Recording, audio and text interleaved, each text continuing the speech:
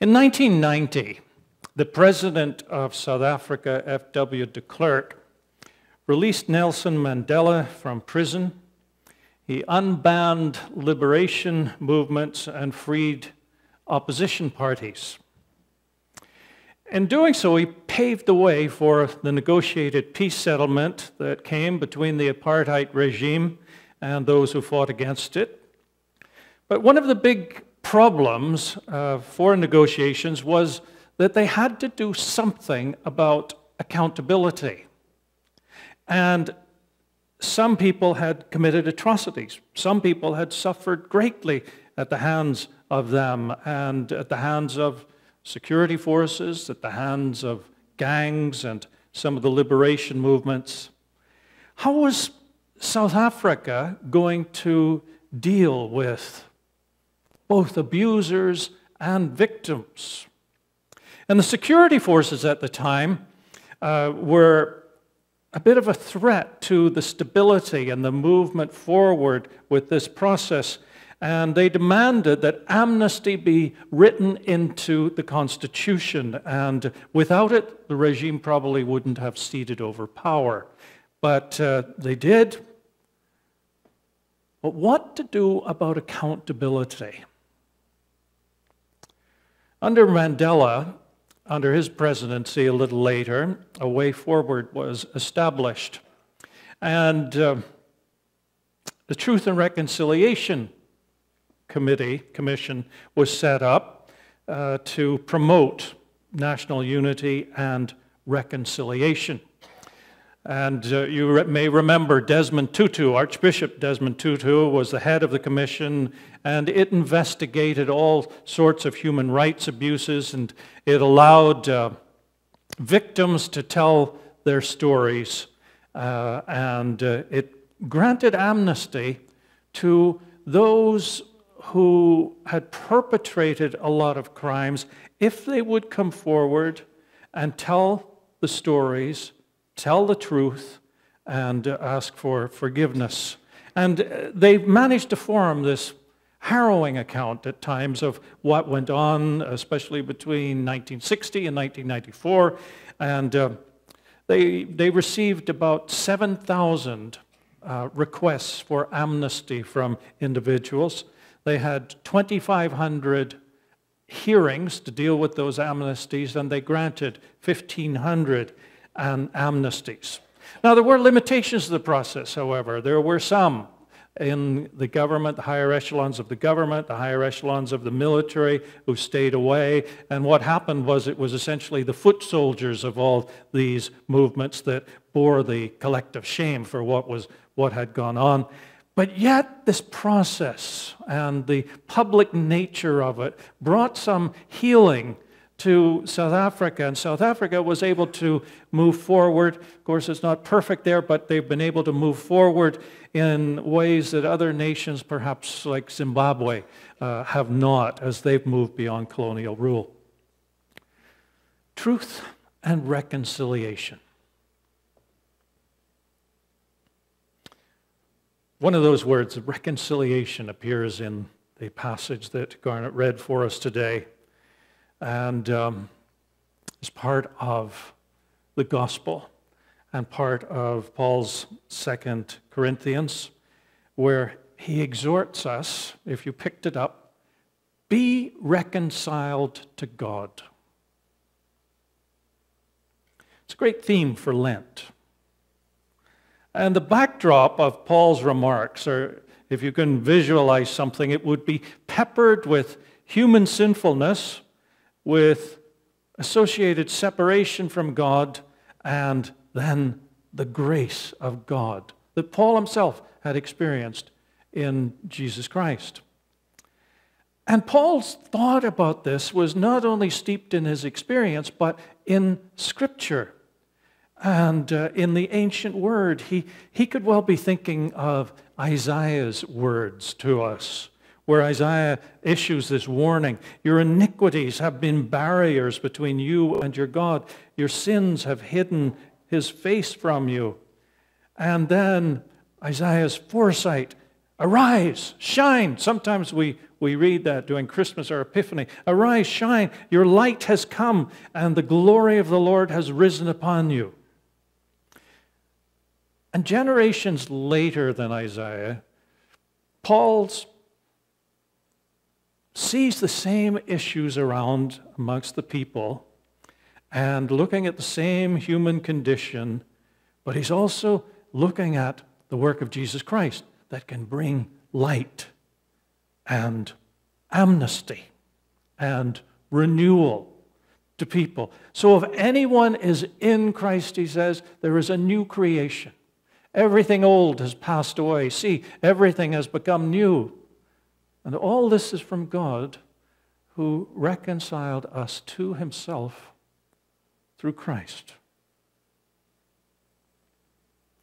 Now, that backdrop I was mentioning with, with sin and separation and, and then grace, when we hear some of that backdrop,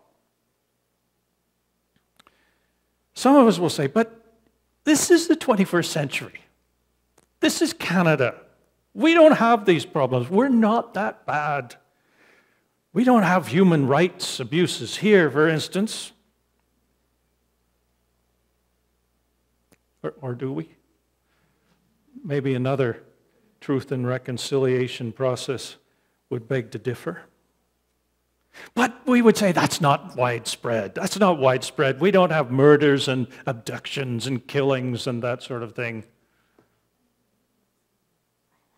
And maybe our newscasts would point us in a different direction sometimes. Yeah, but we're not really that bad. We, we're not like South Africa. We have sunny ways.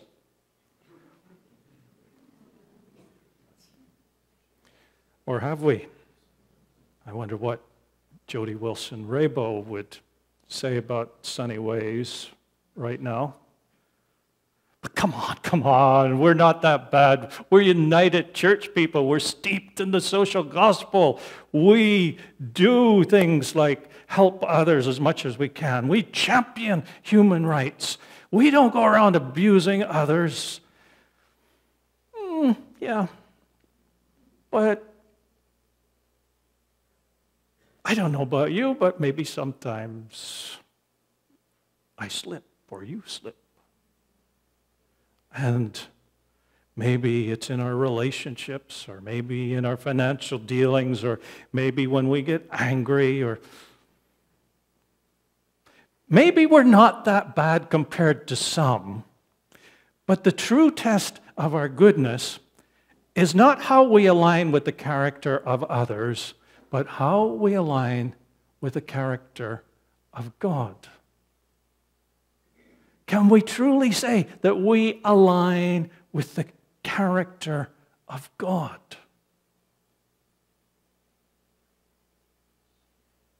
Maybe sometimes we goof up, and that causes this separation that, that, that uh, Isaiah spoke of. And we need reconciliation that, that Paul tells us about. Well, if you think about reconciliation, reconciliation takes a couple of forms uh, in the world. After um, the Second World War, the Nuremberg trials, reconciliation there involved people uh, receiving the death penalty, people being uh, having life imprisonment as, as a punishment. Reconciliation in South Africa, however, was very different. Um, it took the form of this truth and reconciliation process, and amnesty was possible. Granted, even for serious crimes, if individuals were, were honest about what happened and would verbalize it and would ask for forgiveness. Bishop Desmond Tutu, he wrote this For our nation to heal and become a more humane place, we had to embrace our enemies as well as our friends. And he pointed out that true reconciliation can only occur when events are properly confronted. And he says this after a husband and wife or two friends have quarreled, and I know you don't do that, nobody does that, but, but, he, but he sees it sometimes. After a husband and wife or two friends have quarreled, if they merely gloss over their differences or metaphorically paper over the cracks, they must not be surprised when they are soon at it again, and perhaps more violently than before, because they have tried to heal their ailment lightly. True reconciliation, says Tutu, is based on knowing what has happened, true confession and contrition, and forgiveness. Someone has to be willing to truly confess, and someone else has to be willing to truly give forgiveness if there's to be a future in the relationship. And he thinks this is true between parents and children, between siblings, between neighbors, between friends. Equally, confession, forgiveness, and reconciliation in the lives of nations are not just airy fairy religious and spiritual things, nebulous and unrealistic. They're the stuff of practical politics. And he went on to reflect in this article that he wrote about that old adage uh, that those who forget the past are doomed to repeat it. And he knew in South Africa, if they just had a blanket amnesty along the lines of, of saying, well, let's just let bygones be bygones and get on with it, that it, it would be shallow. How can you forgive, he said, if you don't know what or whom to forgive? And uh, he's determined to, to deal with the past and all its horror. And the commission had these hearings, and it uh, required full disclosure before giving amnesty. And uh, only with full disclosure, he thought, would you get what happened out there and in the process of requesting and receiving forgiveness. Only through these things would it be transformative for the nation and the people of South Africa. And that was radical. It was very radical for Tutu. He said, We have to get to the root of things, remove that which is festering, cleanse it, cauterize it, and only then is a new beginning possible. Switch gears for just a moment. Last uh, Sunday, uh, my mother, or Monday, my mother had a birthday, and my sister and brother in law hosted uh, a little party, and they decked the place out with all kinds of goodies, and there were balloons all over the place. And my 12 year old niece, Sarah, took one of the balloons, and it was filled with confetti. And um, she was playing with the balloon, and, and she was uh, playing sort of a keepy uppy game, which is familiar to the football players, soccer players, keeping it up and having a great time. And then she started bouncing it against a counter like this. And um, I had this metal utensil in my hand, which wasn't sharp, by the way. It was very dull, uh, but I just kept inching it towards where she was, where she was, you know, banging this balloon. And eventually it got over far enough and it was hitting the end of the counter and the utensil. And you can imagine what happened. Bang! The balloon burst. Now, that wasn't bad, but you have to realize my sister is completely, I can't use that word, completely um, crazy about cleanliness in her kitchen. And, um, and the confetti goes everywhere. And my first thought is, Sarah. And I said it just like that. And she looked at me and she said, No, you did it. And I said, No, you did it. And she said, No, you did it. And I said, No, you did it. And my sister came over and handed us both a broom and a, and a, a little uh, dustpan. You know, just like Adam and Eve, if you read that story, that's an example of how pretty quickly we can move to shifting blame. You did it. No, you did it. It's a fun example, but it's not surprising, though, when you find it going on in a situation like that, that when it comes to real issues, we're kind of reluctant to take responsibility and to say we're sorry and to take blame. And Desmond Tutu says reconciliation isn't about pretending that things are other than they are. It's not about patting each other on the back and, and turning a blind eye.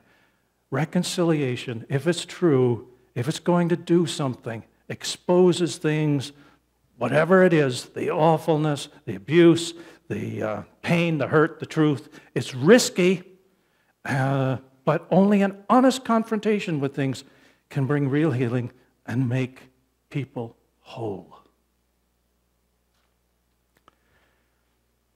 It's amazing how much the South African process of truth and reconciliation parallels the gospel and what the gospel asks us to do in our relationship with God. And calls us, and especially during Lent, to face the reality of ourselves compared with the character of God, not anybody else. And the whole thing is not just saying to God, well, let's make let bygones be bygones, but but let's engage things and search out what is yeah, deep in our hearts and where there is darkness to bring those things before God and to confess, to be sorry, to learn and to change directions, to move in a different direction. God wants us to truly engage things so that we can really change directions and move out of the darkness and into light. And He has given us Jesus to show us the way. And then Jesus took the sin upon Himself and from that, we get amnesty and fresh beginnings. And that's the main thrust of Lent as we continue to move to the cross. And we hear this exhortation from our text today be reconciled to God. Be honest with God as honest as the people had to be in South Africa in their process. And then look to God for the grace that comes in Christ and the amnesty and the new life. Let us pray.